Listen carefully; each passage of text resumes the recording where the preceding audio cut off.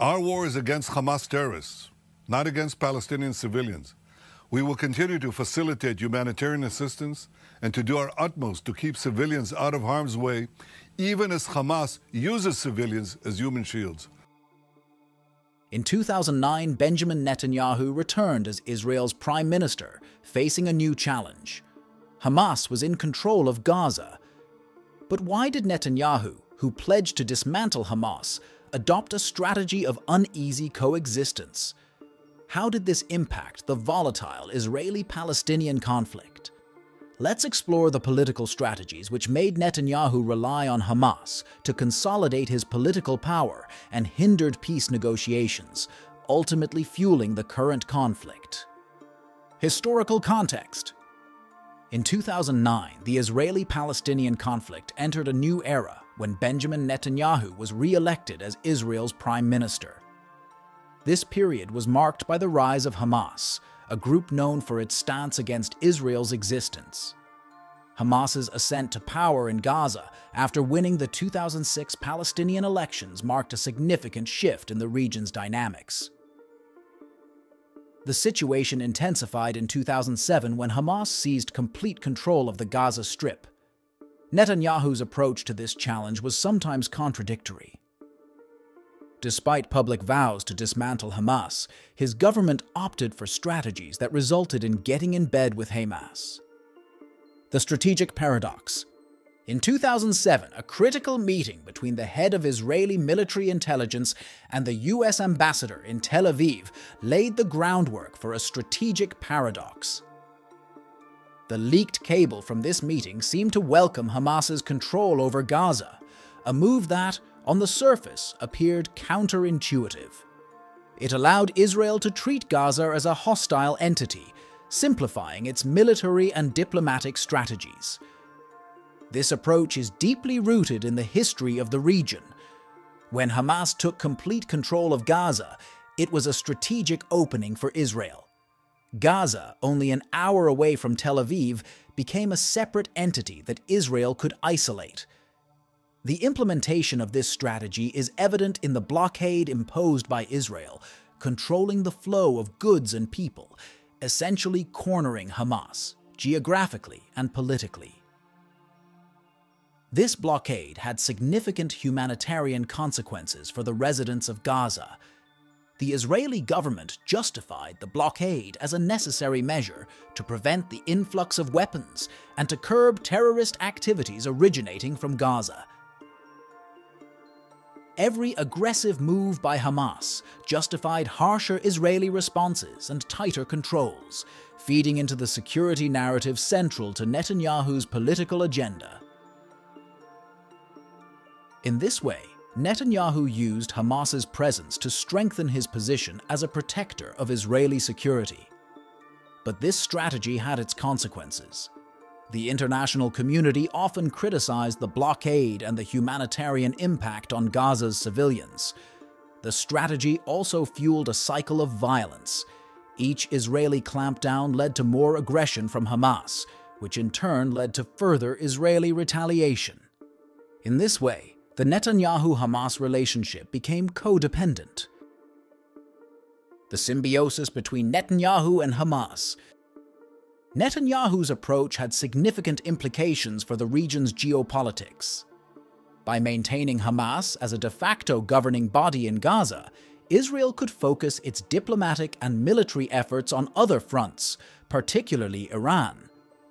This strategy also influenced Israel's relationships with other regional players, as countries like Egypt and Qatar became involved in mediating talks between Israel and Hamas. This paradoxical strategy saw Hamas becoming a tool in Netanyahu's larger geopolitical game.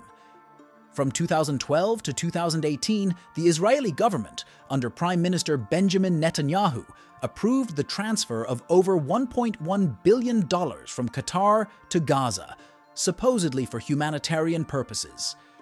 However, this move was seen as a way to maintain a divide between Hamas in Gaza and the Palestinian Authority in the West Bank. By keeping these two Palestinian factions separate, Netanyahu's government could argue that there was no unified Palestinian leadership to negotiate with, thus stalling any significant progress toward a two-state solution. The idea was to reduce the political pressure Israel faced to create a Palestinian state. This strategic move, however, was not without controversy. Netanyahu's approach was critiqued as a method to buy quiet without addressing the root issues of Palestinian discontent. In 2020, Netanyahu's defense minister, Avigdor Lieberman, disclosed that Netanyahu had urged Qatar to continue these payments. Lieberman, highlighting the paradox, stated, Suddenly, Netanyahu appears as the defender of Hamas. He resigned in protest, calling this the first instance of Israel funding terrorism against itself. The escalation of conflict in 2023 raised critical questions about the sustainability of Netanyahu's strategy, which might have sown the seeds for deeper conflicts. Shift in dynamics. The dynamics between Benjamin Netanyahu and Hamas shifted dramatically with the events leading up to and following the October 7, 2023 attack. This date marked a crossroads in the Israeli-Palestinian conflict, bringing to light the limitations and risks of Netanyahu's long-term strategy towards Hamas. On this day, a coordinated attack by Hamas resulted in the deadliest day for Israelis, with a significant number of casualties. This event left Israel in shock, exposing the fragile nature of the Netanyahu-Hamas relationship. The Israeli military response to this attack was swift and severe. Under Netanyahu's leadership, the military launched extensive operations in Gaza, aiming to dismantle Hamas's capabilities.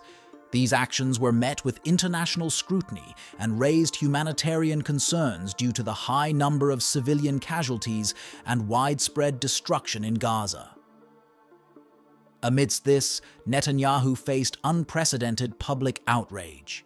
His failure to prevent the attack and the disorganized government response led to a substantial decline in public support, with polls showing a majority of Israelis calling for his resignation. Netanyahu's pledge to continue the fight against Hamas after a temporary pause in hostilities further demonstrated the complexities of this conflict. The situation revealed the deep-seated issues with Netanyahu's approach, where short-term security measures clashed with the long-term need for a stable and peaceful resolution. Netanyahu's security strategy and the failure of divide and rule. Benjamin Netanyahu's tenure as Prime Minister of Israel has been marked by a distinctive security strategy shaped by his perception of the threats facing Israel. Central to this strategy is the belief that the security of Israel hinges on a robust approach to dealing with perceived threats, particularly from the Palestinian territories. This approach has often been characterized by a combination of military might, diplomatic maneuvers, and a tough stance on peace negotiations.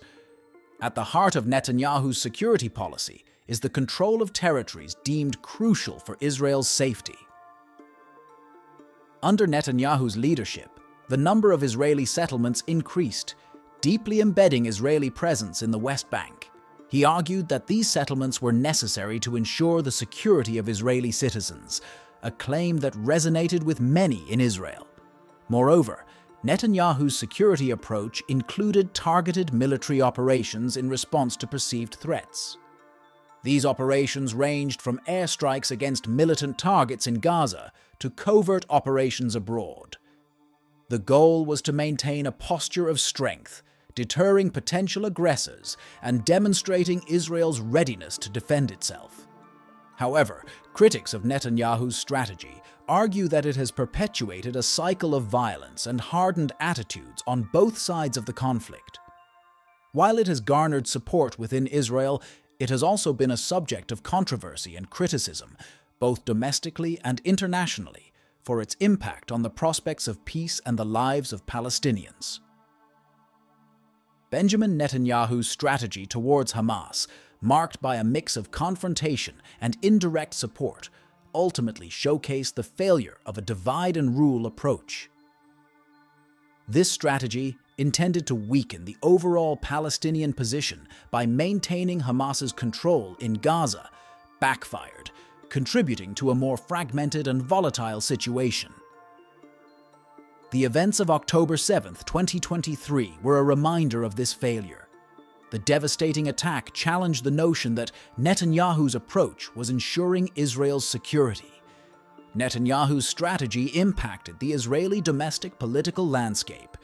His reliance on security-focused policies and the portrayal of Hamas as an existential threat helped maintain his political position.